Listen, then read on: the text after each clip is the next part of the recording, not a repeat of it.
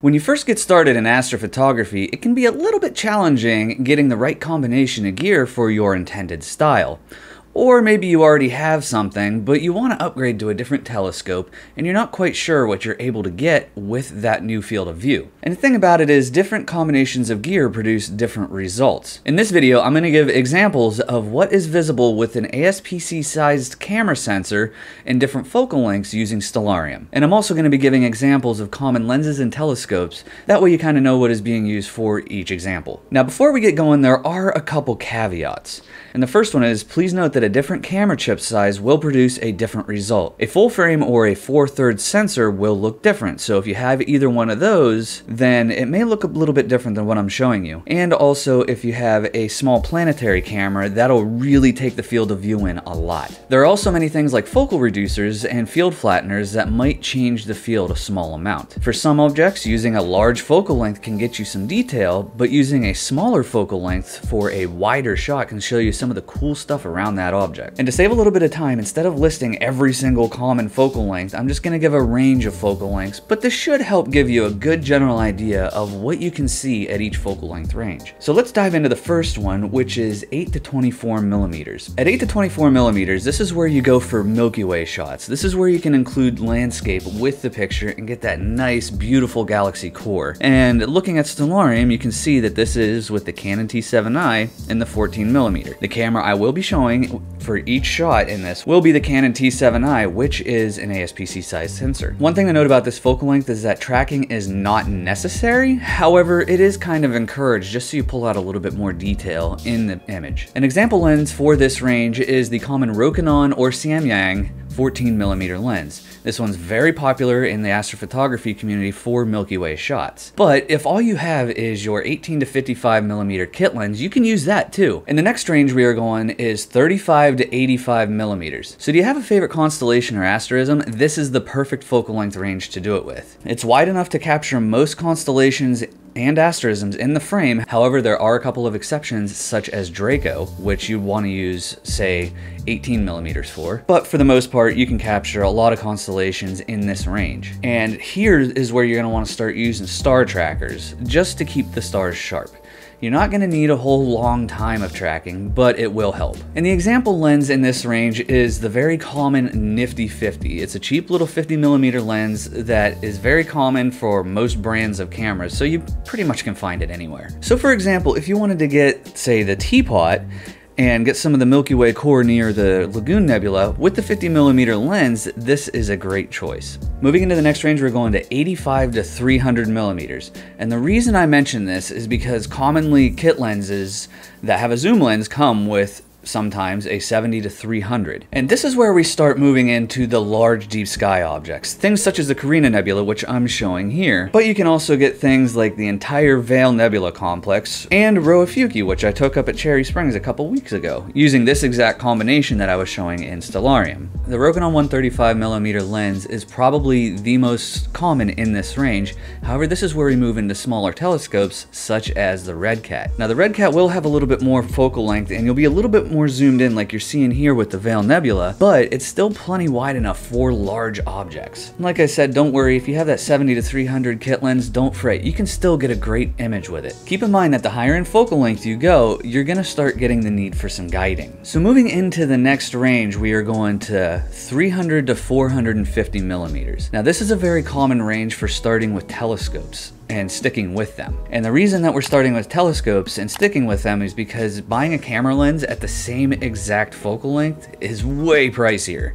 And the telescope is built for what we're doing, so this is a benefit here. But from this focal length forward, you're definitely going to need guiding to keep your stars sharp. Some common telescopes in this range are the William Optics Zenithstar 61 and the 71 for that matter, the Radian Raptor, and the Skywatcher Esprit 80 ED. Those are all very common telescopes for this range. Some common objects include the North American Nebula, and you can start getting some detail with Andromeda, along with the Pleiades. This is where you can start pulling out some of the dust uh, in the nebulosity itself. And for my southern friends, this is where you can start getting a nice view of the Tarantula Nebula. And one thing to note about this focal length too is that moonshots that you use to capture the entire moon disk with some details start to become possible in this range, which is kind of cool. So before we continue, I do have a question for you. What focal length are you shooting at? Let me know down in the comments below. The next range I am listing is 450 to 700 millimeter. Now this is generally a step up from the previous tier as you want to just get just a little bit deeper. This is where 100 millimeter refractors are pretty common, and it should go without saying that guiding is necessary here. A couple common telescopes in this range is the Skywatcher Esprit 100 and the William Optics Zenithstar 81. Now for some examples of objects with this focal length in an APS-C size camera is the Lobster Nebula, the Eagle Nebula. For my friends in the Southern Hemisphere, the Running Chicken Nebula is great at this focal length, and looking at a different time of year, this is where you start pulling out some detail in the Christmas tree cluster or the Cone Nebula, whichever one you like to call it. So the next range here is going to be much larger, and this is starting to get away from focal lengths that I recommend to beginners, purely because going with a smaller focal length when you first start, it's a little bit more forgiving in case something is a little bit off. But I'm still going to give you some examples. And this is generally where people start to switch away from refractors and into Schmidt-Cassegrain style telescopes or RASAs because this helps them save some costs. There is something to be aware of though if you start moving into the Schmidt-Cassegrains. Say for example you buy the Nexstar 6 SE, which I will be using for this example in Stellarium, it comes with a mount that's not that great for astrophotography, so you're gonna wanna buy just the tube itself and use your own equatorial mount because it will cause some rotation in your image and it's just not gonna be turn out very well. But like I said, the example here is the Celestron Nexstar 6 SE. A good example is starting to get some detail on the Crescent Nebula. And if you want to use the 1500 millimeter of this telescope, going for the Hercules cluster is great. And of course, for my friends in the south, using the Nexstar 6 SE is great for the Wishing Well cluster as well. Now, if you're not going for something like that Nexstar 6 SE. Another common telescope is the Skywatcher Esprit 120, and that has an 840 millimeter range. At this range, this is where full disc shots of the moon start to fill out the frame pretty well. Anything higher, and you're gonna start to need to do a mosaic. But if you look right here, this is exactly how the moon looks at 840 millimeters with an APS-C size sensor. So for our last range here, we are going with 2000 plus. This is pretty much all Schmidt-Cassegrains when it comes to the purposes of astrophotography. There are a couple other styles of telescope, but they're not as common.